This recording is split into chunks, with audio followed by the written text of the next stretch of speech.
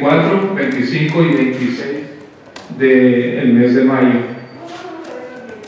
Ahí se van a llevar a cabo diversas actividades como lo son ceremonias, danzas. Eh, estamos incluyendo esta vez temazcales Sí. eh, para ceremonia de temazcal, que es una ceremonia de purificación, eh, y otros eventos como danzas tradicionales. Y también se van a llevar a cabo conferencias y talleres. Aquí mi equipo colaborador me está ayudando con la logística y con la promoción del evento. El, evento en sí dura, empieza el jueves 23 a la- en la tarde, como eso a las 2, 2 de la tarde, y culmina el domingo 26 de mayo a las 10, 11 de la mañana. Las delegaciones que vendrán serán, vienen de Jicarilla Apache, de la Reserva Jicarilla Apache, en la Sangre Crystal Mountains, en el norte de Nuevo México, en el área de Dulce y Chama. De ahí vienen un contingente de danzantes shish, eh, osos que van a danzar en- aquí en el Torreón y, y estaremos, eh, hay un día que es el sábado 25, el evento se llevará a cabo aquí en el centro, en la Plaza del Ángel. Ahí se van a ofrecer danzas para que el público pueda apreciar nuestra cultura y tradiciones. Otras danzas que vienen esperemos traer a los danzantes gano, danzantes de coronas, que son que ya han estado aquí en la sede de Chihuahua anteriormente. Eh, esperemos que vengan los danzantes gano, ellos vienen de White Mountain, de la reserva Apache de White Mountain en, en el estado de Arizona. Y también vendrán a, algunos ah, personas de Mezcalero Apache.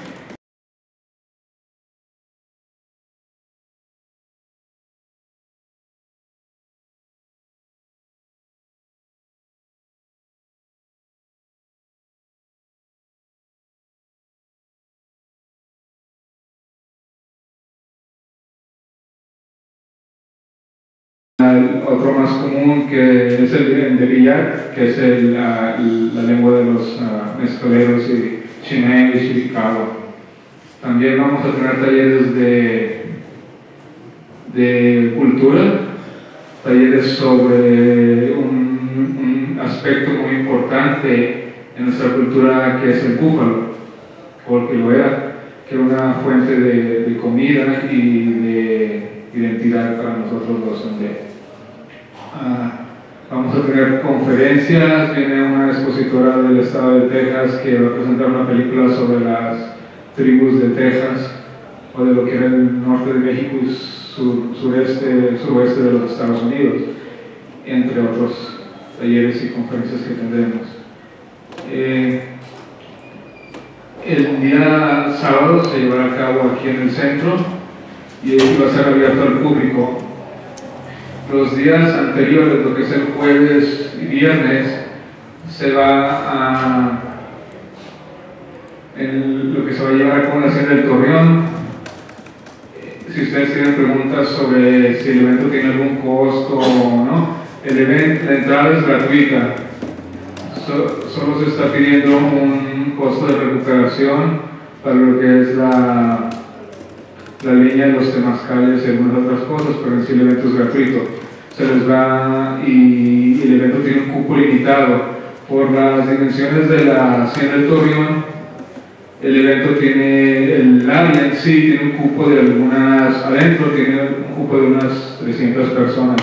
Hay una explanada que está enfrente del Torreón, ahí se, en caso de que vayan más personas, se llevará a cabo el, el evento eh, en dos partes. Bien, si tienen alguna pregunta para ellos, adelante, por favor. ¿Cuántas personas tienen registradas aquí en todo el Aquí en el estado, la verdad, descendientes hay varios. Las que yo personalmente tengo registradas son como unas cinco. Yo personalmente. Eh, un amigo mío, Humberto Hernández de Chihuahua Apache, él conoce más personas aquí en la ciudad. Pero en sí la mayoría de los descendientes o personas que son descendientes de, eh, se encuentran más en las localidades hacia el norte, no hacia el sur. La, eh, como ustedes saben, cuando eh, suben andar de Villa Victorio, aquí su banda de Chimé, la gente se divide en dos grupos, Apaches del Este, nosotros los Vipanes, en lo que era Ojinaga, Manuel Benavides. Y entre nosotros y los chineses que estaban desde el Carrizal, Villamada, Sacramento, Majalca, toda esa área hasta Juárez, hasta las cruces de Nuevo México, eh, por ahí incursionaron comanches entre esas dos áreas, ellos sí bajaron hasta Parral. En sí, los asentamientos ah, de, paz que hubo como el de Montanegra o los asientos de Janos, Galeana, estuvieron hacia el noroeste del estado, no, hacia, no en el área de la Tarahumara, en la sierra, no. Ah, mucha gente dice que hubo asentamientos en el área de Huachochi, esas partes allá de las barrancas, pero no. La, tal vez hubo incursiones, pero no en sí, la mayoría todo se concentró desde Cuauhtémoc hacia el norte, sobre todo Madera, Namiquipa, Janos, bueno, toda esa área hacia el norte, hasta lo que es eh, Hop Valley o Jovales, que ahora le llaman Jovales, pero en aquel tiempo era Hop Valley, que era un asentamiento mormón. Eh, y hacia el este, al noroeste, estábamos nosotros los, uh, los dipanes y, los mezcaleros que estuvieron ahí en, el área de uh, Ojinaga, tal vez lo más al sur estuvieron hacia Coyame.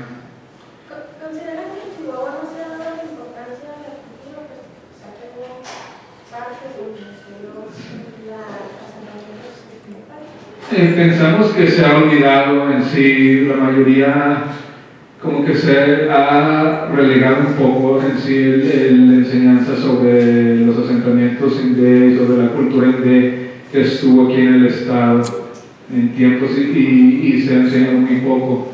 Y, inclusive muchos descendientes no lo saben o tal vez lo esconden. Es lo que en mi caso lo que, que yo he visto en algunos a personas que he conocido. Eh, y como, le digo, la mayoría de los descendientes se encuentran en las rancherías hacia el norte, los poblados, de, sobre todo en esa área, lo que fue la, el área de la, de la, Pachería, Janos, desde Sacramento, todo hacia el norte, ah, sobre todo Coyame. Coyame fue un punto donde también quedaron muchos descendientes. ¿Cómo ves la, la, cultura de ustedes? ¿Se está extinguiendo? ¿Cómo, ¿Cuál es tu visión eh, a corto, mediano y largo plazo? Bueno, nosotros somos Nadeni, somos una nación Nadeni. Nade, ¿qué es Nadeni? Las naciones Nadeni somos naciones atabascanas que, que nos extendemos desde, inclusive desde Siberia, Rusia, de, cruzando el estrecho de Bering, Alaska, con naciones como los Tlingit, eh, en el Coyucón, eh, todo el noroeste y suroeste de Canadá, British Columbia, Alberta, como los Arsi, los Sodiné, Hay muchísimas naciones nadeni, de, de lengua nadeni, que están en, en, la mayoría en Canadá y Alaska. Nosotros somos los uh, tabascanos o nadeni del sur, y eso comprende a los Diné, o el los Navajo, eh, los San Carlos, los White Mountain, que son los eh, los mezcaleros, los, uh, los Icarilla, que son nuestros ancestros, porque nosotros venimos de ellos, de los Icarillas. Eh, nosotros nos separamos de los Icarillas hace como unos 800 años y bajamos de las montañas de, del norte de Nuevo México, donde se Nuevo México, Colorado, y de ahí bajamos, hicimos una migración en L, de, las montañas del norte de Nuevo México hacia el sur y luego hacia el este, hacia las llanuras de Texas, a cazar búfalo. De ahí, eh, guerras contra los comanches, eh, hubo la batalla de los nueve días en el río Rojo que divide Oklahoma de Texas, una batalla que duró nueve días contra los comanches. En esa batalla hubo muchos eh, guerreros muertos de ahí, nos desplazamos hacia el sur y entramos hacia Ojinaga y Coahuila. Y ahí habitamos hasta finales de 1800 cuando hubo las guerras y trajeron a, los Picapú que nos desplazaron de la sierra de Santa Rosa de Lima en Musquis y nuestro pueblo antiguo Zaragoza, Coahuila, también nos sacaron de ahí, entonces la mayoría nos uh, esparcimos por distintos puntos.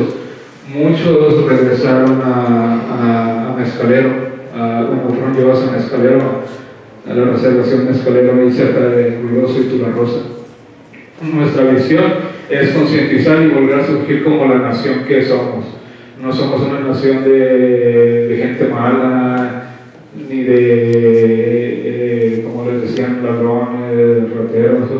No, eh, somos gente que, que busca concientizar a la población y para, para, promover nuestra cultura, como lo hacen las demás etnias aquí en el Estado, como los Ralandris, como los Oba, como los Odani, como los, uh, los Guarijó, y les llamo por sus nombres originales, porque así les gusta, igual que nosotros. Nosotros no somos apaches, nosotros somos Inde. Inde significa gente. Apache viene de Abashu, que en, en, en Zuni Pueblo, en Nuevo México, ellos nos nombraron a apaches, que significa enemigo. Pero en nuestra, eh, en nuestra lengua, Inde, y así nos llamamos Inde, o Ane, eh, significa gente. Y nuestro objetivo es eh, reunirnos y, unificarnos como naciones indé y, y crear un, una conciencia aquí en México y sobre todo aquí en, el norte, porque aquí es nuestra, tierra tradicional, nuestra magiqueya, y, eso es lo que buscamos. Eh, y a largo plazo es unificar todas las naciones nateni o atabascanos desde desde el punto este de Siberia, Rusia, Alaska, Canadá, es, eh, la Unión Americana, Estados Unidos y México. Eso es nuestro objetivo. La lengua de ustedes, podemos decir que es una yuto-azteca, según los lingüistas, o cómo se consideran ustedes? No somos yuto-azteca, eh, somos uh, atabasca, somos nadene, o dine, dene, eh, somos una lengua totalmente distinta de la yuto-azteca, totalmente. Nosotros, nuestra lengua es una lengua glotada, eh, muy distinta a los grupos yuto-aztecos. Una lengua que viene del, del, norte, de lo que es Alaska. México tiene, México tiene clasificados sus etnias a través de múltiples instituciones federales, estatales, incluso municipales. ¿A ustedes los tienen clasificados bajo qué concepto? Porque es raro que en el mapa chihuahuense aparezca su cultura incluso en los uh, ámbitos oficiales. Sobre eso, eh, como ustedes saben, a finales de 1800 la, nosotros la pachería o los pueblos indígenas fueron un, una, como una espina que afectó al, al, gobierno de ese tiempo y a los rancheros y gente de poder y dinero que tenían grandes extensiones de tierra y, y, fue conveniente borrar la pachería por razones de quedarse con esas tierras de justamente hace poco en el, hace unos un, menos de un mes en el mapa sobre naciones indígenas excluyeron a los yaquis y a los seris. Es una discriminación. Es una discriminación porque, porque los yaquis y seris son pueblos que siempre han luchado socialmente por sus costumbres, su tradición, sus tierras y su ecología, su, la preservación de su agua, de su medio ambiente, de lo que ellos son. Y qué, y qué raro que los excluyeran del mapa, igual que lo hicieron a nosotros. Sí, porque incluso los libros de historia de Chihuahua, Durango, eh, Sinaloa, Sonora, no de forma tácita, pero dibujan a los apaches como los malos de la película, ¿no? Claro, así, fue y eh, fue porque cuando eh, nosotros estábamos muy bien durante el tiempo de la colonia, eh, bueno, en- en- con respecto a los Chiney y Chiricahua, la corona española respetó tratados que el gobierno de ese tiempo rompió, no respetó, igual que los gobiernos estadounidenses de ese tiempo. Entonces, eh, eh, fue un motivo para que nosotros se nos borrara culturalmente, no físicamente, porque nunca pudieron hacerlo, pero se nos borró culturalmente por cuestiones de conveniencia. Y aquí en el estado de Chihuahua, más o menos, ¿a qué número asciende su comunidad? Porque tengo entendido también que tienen nexos con los estados del sur de Estados Unidos, como Nuevo México y Arizona. ¿Cuántos serían en Chihuahua y cuántos a nivel general en la zona bifronteriza? A, a ciencia cierta, ese es el, el trabajo que yo estoy haciendo. Eh, que desde que yo llegué aquí a Chihuahua eh, hace un año, o bueno, más de un año, pero ya que yo estoy aquí en Chihuahua, me he dedicado a buscar descendientes. Y